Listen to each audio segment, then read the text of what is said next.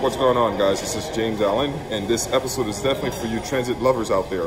In this video we're going to compare the New York MTA versus the San Francisco BART. Let's not waste any more time, let's get started.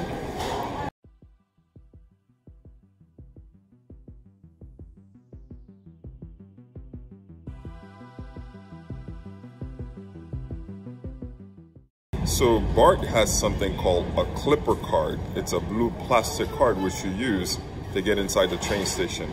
The New York MTA uses a bus pass called a MetroCard. It's not a tap and go card and the card is quite flimsy, so it's very vulnerable to damages.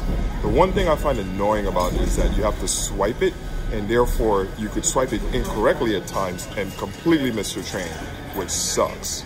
So unlike the MTA, the BART Clipper card does not need to be swiped.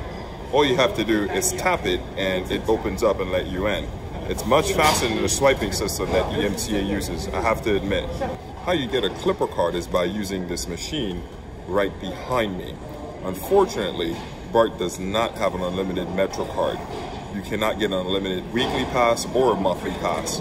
You have to pay for BART prices every time. Considering how expensive rent is in San Francisco, BART is definitely not helping. To get a MetroCard, all you have to do is use one of these vending machines right behind me. And unlike BART, the MTA does support unlimited Metros. You can buy a weekly or even a monthly to travel all across the five boroughs of New York. So in a transportation department, the MTA is definitely cheaper. BART stations are relatively clean both inside the track and outside the track. When it comes to cleanliness, it's a hit or miss with the MTA. Some stations are impeccably clean. Most stations, however, let's just say that most stations suffer a, a hygiene problem. The MTA has over 840 miles of track and their train runs an average speed of about 17 miles per hour. They top out at 50 miles per hour. BART has 121 miles of train track. Their train runs an average speed of 35 miles per hour and tops out at 70 miles per hour. Wait, hold up. Did the MTA just get beaten by BART? BART trains are running at least 18 miles faster than the MTA trains. What happened to New York City is the city that's fast. Fast city, fast life, everything is fast here. New York City just got beaten by BART. Oh, I'm speechless. So BART trains don't really have Wi-Fi. What's up with that? Considering San Francisco is the heart of Silicon Valley, I find that pretty odd. Oddly enough, the MTA does have Wi-Fi. Considering that the MTA is usually a dinosaur with these things, I was actually quite impressed to see that Wi-Fi is coming on in nearly all the stations. Unfortunately, however, they do slap you with ads right before you connect online. New York is all about its money. You get full signals inside BART station and inside the train as well. So when you're moving, you can still talk to your friend, text, and make phone calls. I thought that was pretty cool. You're gonna get no signals inside New York trains. You can't call your friends, your girlfriend, your mother. You're just stuck with other New Yorkers in this box forever. BART serves several cities, not just San Francisco.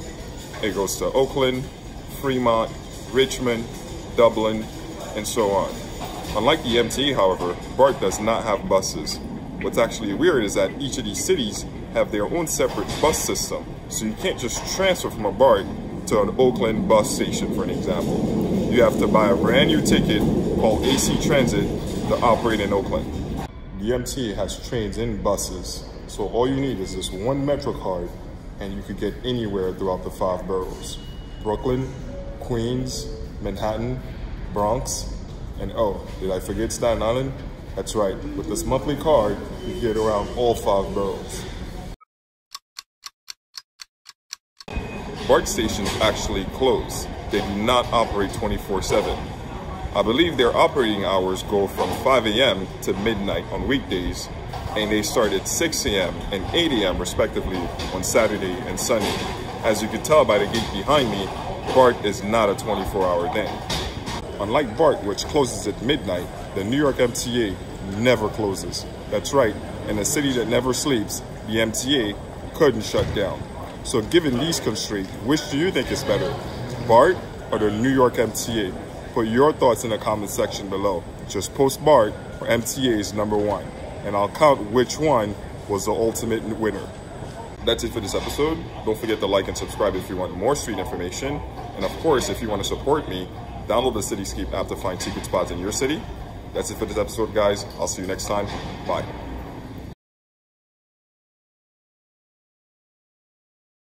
Sleep?